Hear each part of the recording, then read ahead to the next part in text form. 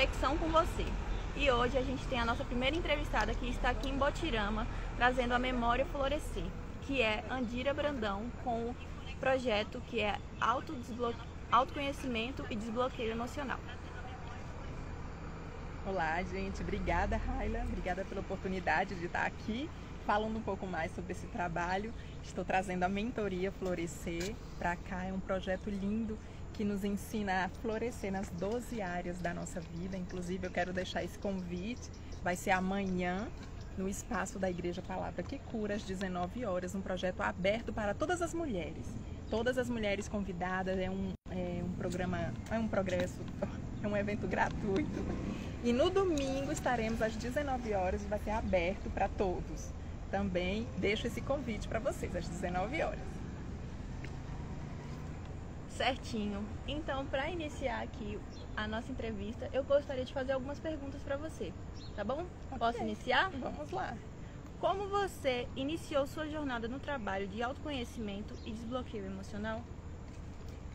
Toda essa jornada de autoconhecimento come começou comigo na minha própria vida. Na época, eu estava iniciando um empreendimento, estava empreendendo e sentia muita dificuldade de tomar algumas decisões. Comecei a perceber alguns comportamentos e formas de agir, de pensar minha que estavam me incomodando. Inclusive, eu comecei até a achar que era problemas, eu, que eu comecei a colocar palavras muito negativas sobre mim. E nessa oportunidade, eu precisei fazer uma palestra sobre temperamentos. E ao estudar essa palestra, eu entendi quem eu era, qual era o meu temperamento. E aquilo que eu achava que era um, um ponto negativo meu, na verdade era apenas uma qualidade, uma característica do meu temperamento. Então, a partir dali, eu comecei a me conhecer e comecei a conhecer um pouco mais sobre a jornada do autoconhecimento. Eu fiquei realmente fascinada com tudo aquilo que eu estava descobrindo sobre o meu temperamento. E à medida que a gente se conhece, a gente conhece mais os, os outros. E aí começou a minha jornada de me conhecer. Certinho. Então, o primeiro passo foi se desbloquear. Exato. Isso. Então, vamos para a próxima pergunta. Quais técnicas ou abordagens você utiliza em seu trabalho e como elas podem beneficiar as pessoas? Eu utilizo do autoconhecimento, porque foi algo que deu certo para mim quando você trata o autoconhecimento, você traz a pessoa para mais para dentro de si. Então ela vai começar a se conhecer, conhecer seu temperamento, seu perfil comportamental, sua forma de agir, de pensar. Tudo isso está conectado com a sua história, seus traços de caráter, sua linguagem de amor. Então essas são as, as abordagens mais utilizadas. Uma outra que eu gosto muito é da identificação de crenças limitantes, porque nós somos o que nós pensamos. E as crenças limitantes são como são como um projeto silencioso e que está rodando no nosso inconsciente para fazer com que aquela ideia, aquela crença se é, concretize. Então, através do autoconhecimento e de crenças, a gente vai nessa jornada do autoconhecimento. Certinho. Então, vamos para a nossa próxima pergunta. Qual é a importância do autoconhecimento e do desbloqueio emocional em sua visão, especialmente nos tempos atuais? Ah, toda. Toda. Uma pessoa que não se conhece não tem inteligência emocional.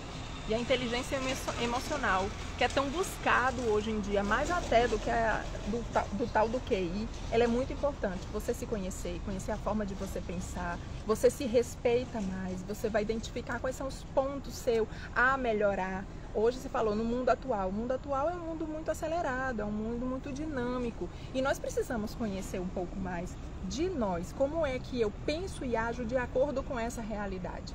Então, saber sobre isso me traz é, consciência de quem eu sou e do que eu posso melhorar para me adequar ao estilo que eu preciso me tornar, seja no trabalho, seja nos relacionamentos. E falando de relacionamento também, você tem mais empatia quando você se conhece e conhece o outro. Excelente resposta. Então vamos para mais uma pergunta. Você poderia compartilhar alguma experiência ou caso de sucesso de alguém que tenha se beneficiado do seu trabalho? Ah, sim, sim, tenho vários. Lá em Salvador estamos fazendo esse trabalho da mentoria Florescer, é um momento muito direto que eu tenho com as alunas, mas antes mesmo disso, eu tenho eu lidero um grupo de mulheres E essas mulheres, ao caminhar comigo, eu instigo elas justamente a se autoconhecer, a entender eventos emocionais que marcaram suas vidas, que de certa forma lhe impedem de avançar. Temos muitos sonhos, e por que, que a gente não consegue? Por que, que a gente não conquista? Por que certas pessoas vão além e conquistam e outras não? Algum evento emocional está ali, alguma coisa está prejudicando.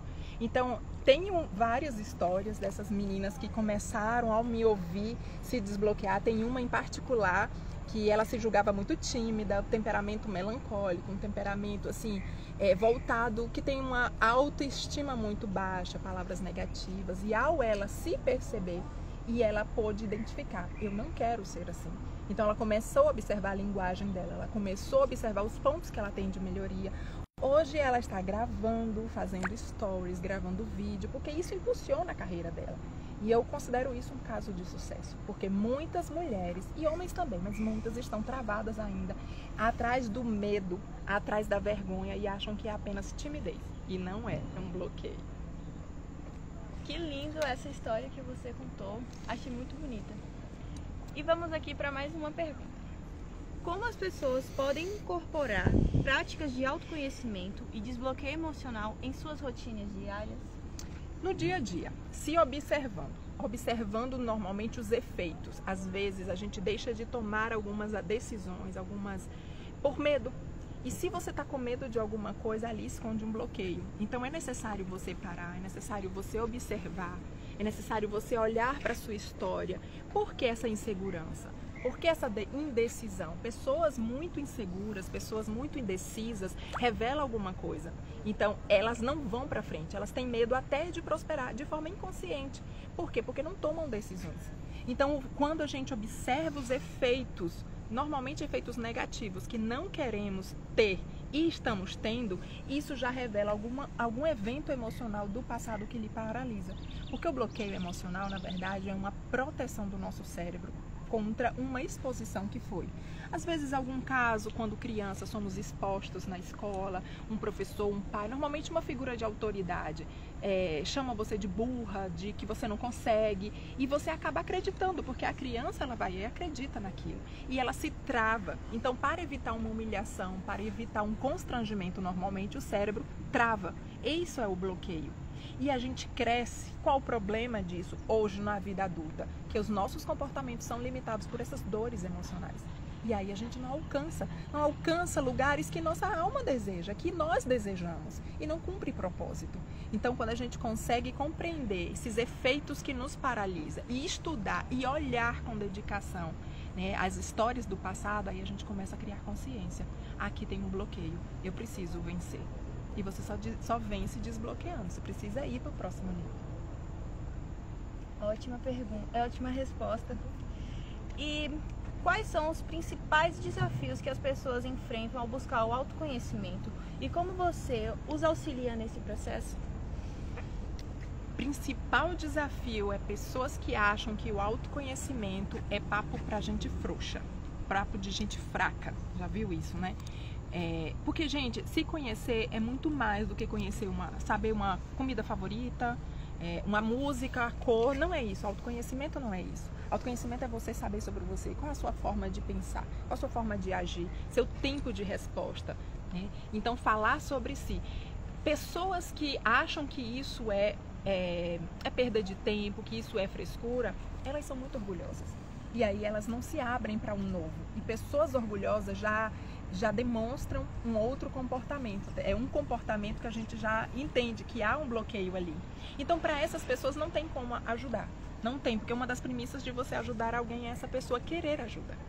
Agora, para aquelas pessoas que querem ajuda, que querem se lançar nessa jornada do autoconhecimento, uma, dos, uma das maiores dificuldades, como você colocou, é reconhecer onde são os pontos de dores. E daí a gente usa técnicas, a gente usa ferramentas, perguntas, que faz essa pessoa identificar na sua história, porque cada história ela é individual, ela é única. Principalmente não procurar culpados, porque toda vez que a gente procura culpados, a gente pune inocentes. Mas é você entender a sua história, entender seu padrão de pensamento, se há alguma crença limitante ali, e através dali você começar a desbloquear. Porque existe a diferença entre crença e fato. A crença é aquilo que não necessariamente é verdade. Mas na vida daquela pessoa, ela vai, vai acontecer, porque a crença ela é autorrealizável. Um fato não. Por exemplo, hoje você dizer que a Terra é redonda, isso é um fato. Acreditando ou não acreditando, já foi provado. Agora, aquelas crenças que dizem muito por aí, é, sucesso no trabalho, azar no amor. Isso é um fato, isso é uma crença. Isso não é verdade. Mas na vida daquela pessoa que acha que isso é verdade, aquilo vai ser uma verdade. Porque é, a crença ela é autorrealizável. Já o fato não, ele é um fato. Então, quando a gente identifica quais são as crenças, normalmente crenças relacionadas ao ser, ao ter e ao fazer, né, que são as crenças de identidade, merecimento e capacidade, são crenças bloqueadoras. São ideias erradas que temos sobre nós que nos paralisam. Então, identificar isso e passar e avançar e reprogramar é o passo número um para a gente ter sucesso. Ótimo. E de que forma o trabalho de autoconhecimento e desbloqueio emocional pode impactar outros aspectos da vida das pessoas, como relacionamentos e carreira? Através da empatia. Né? Como eu falei, quando você, quando, quanto eu mais me conheço, eu conheço outras pessoas. E se eu preciso ser é, acolhedora das minhas emoções, eu acabo sendo também de outras pessoas. Eu favoreço é, a inteligência emocional, a gente é, avançar nesse quesito de inteligência emocional. Nos relacionamentos, é você entender que duas pessoas juntas, seja cônjuges, sejam sócios, um complementa o outro. Então, se eu entendo que pelo meu temperamento eu tenho um tempo de resposta lento e para fazer negócios eu preciso de uma pessoa complementar a minha, então eu vou buscar uma pessoa que tem um tempo de resposta mais rápido. É, e no casamento também. Quando você sabe sobre si, você não julga, você não procura culpados, você tem mais empatia em relação às pessoas, você não precisa entrar em comparações. E a comparação hoje tem prejudicado muitas pessoas. As pessoas estão doentes por comparações. E quando a gente entende que nós somos a medida perfeita do que Deus fez para a gente ser, para a gente ter sucesso, então eu entendo que dentro de mim eu já tenho todas as ferramentas necessárias para cumprir o meu propósito e para ter êxito. Então não preciso ficar é, copiando ninguém, eu não preciso ficar me comparando com ninguém, eu só preciso encontrar a minha própria luz. Eu só preciso encontrar o meu próprio jeito de ser. E então isso me ajuda nos relacionamentos qualquer que seja ele. Em relação à carreira, eu identificar uma crença é, de escassez, uma crença financeira, vai me ajudar também. Porque muitos lugares, muitas, é, muito sucesso profissional hoje está ligado à exposição, a um pensamento mais rápido, a você vencer alguns medos. E sem você destravar, você não alcança esses níveis. A gente acaba ficando na tão perigosa zona de conforto, que é quentinha, mas extremamente perigosa, porque não nos é, avança, a gente não vai para o próximo nível. Então, o autoconhecimento, a inteligência emocional, a reprogramação de crença nos ajuda e muito, tanto nos relacionamentos quanto nas nossas carreiras. Pronto, essas foram nossas perguntas, mas eu gostaria de perguntar uma coisa que me deixou um pouco curiosa. Eu vi que sua carreira é muito interessante e queria saber se você tem vontade de ser escritora, fazer um livro sobre o processo de autoconhecimento e desbloqueio emocional. Com certeza. Com certeza. Já tenho algumas coisas rabiscadas, já tenho algumas coisas é, já esquematizadas, um sumário pronto. Em breve teremos sim. Amo, amo ler, amo escrever e com certeza isso vai estar nos meus projetos. Olha aí, pessoal, então quem quer saber mais da história e procurar saber mais ainda, ela vai fazer um livro. Então, para dar uma fechada aqui no nosso programa, eu gostaria que ela falasse o arroba dela no Instagram, para vocês também conhecer o, é, o projeto dela. Você poderia falar, por favor? O meu é o arroba Andira Brandão. Eu estou todos os meses, eu faço uma área, é, uma aula da área na mentoria Florescer, abordando uma das áreas das nossas vidas, são 12, e com o objetivo de fazer mulheres florescerem em todas as áreas da sua vida. Então são aulas de ampliação de consciência, aonde ali a gente encontra princípios, a gente encontra métodos para poder a gente florescer. Importante fazer tarefas, fazer tarefas e sair do, da teoria, muito importante. E para mim é um privilégio estar aqui na cidade é, aplicando essas duas aulas. Dessa vez nós vamos ministrar a aula da área emocional e área espiritual. Amanhã, às 19 horas, no espaço da Igreja Palavra que Cura, para todas as mulheres. E no domingo, aberto a todo público, às 19 horas. Eu espero você lá. Obrigada. Então foi isso, pessoal. Esse foi o nosso primeiro programa do Conexão com Você. Muito obrigada a todos vocês que estão assistindo muito obrigada, Andira Brandão, obrigada, por ter participado. E é Espero você lá, tá? Amanhã. certo. Tchau, pessoal.